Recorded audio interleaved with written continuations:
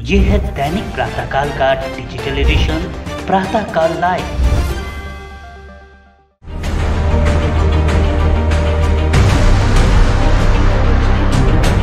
मुख्यमंत्री उद्धव ठाकरे की पत्नी रश्मि ठाकरे के खिलाफ अभद्र टिप्पणी करने वाले जितेन गजरिया की मुश्किलें बढ़ती हुई नज़र आ रही है।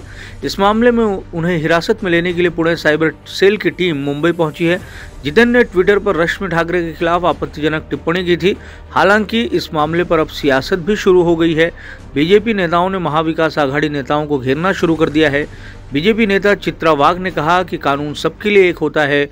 शिवसेना के मंत्री गुलाबराव पाटिल ने बीजेपी सांसद हेमा मालिनी के लिए अपशब्दों का इस्तेमाल किया था। क्या यह गलत नहीं है?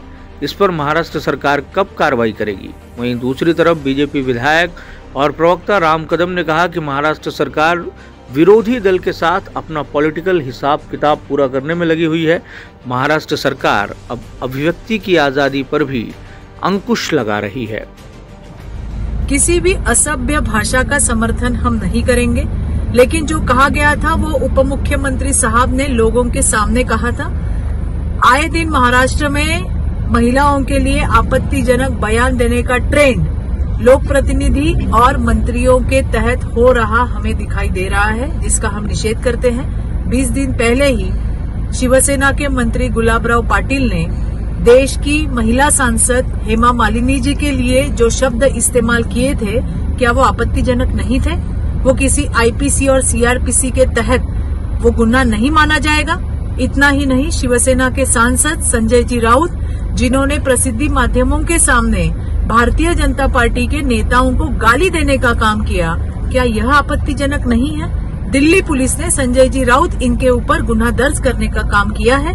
महाराष्ट्र की पुलिस ये धाड़स बंदा पाएगी?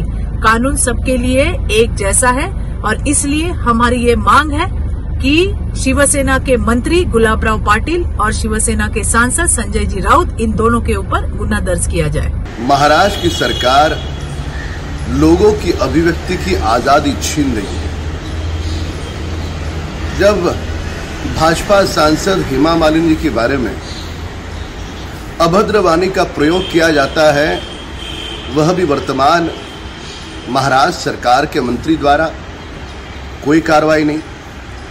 और वहीं पर भाजपा कार्यकर्ता अपने अभिव्यक्ति के तहत यदि कुछ ट्विटर पर लिखे तो महाराष्ट्र की सरकार पुलिस का दुरुपयोग करते हुए उनको कार्रवाई तो करती है, पर दो दो घंटे पुलिस थाने में उन्हें परेशान किया जाता है।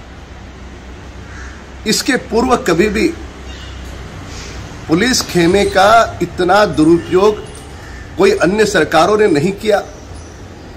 वसूली तो वसूली, पर अपना पॉलिटिकल हिसाब चुकता करने के लिए भी महाराष्ट्र की सरकार मुंबई और महाराष्ट्र पुलिस का दुरुपयोग कर रही है। यह निंदनीय है।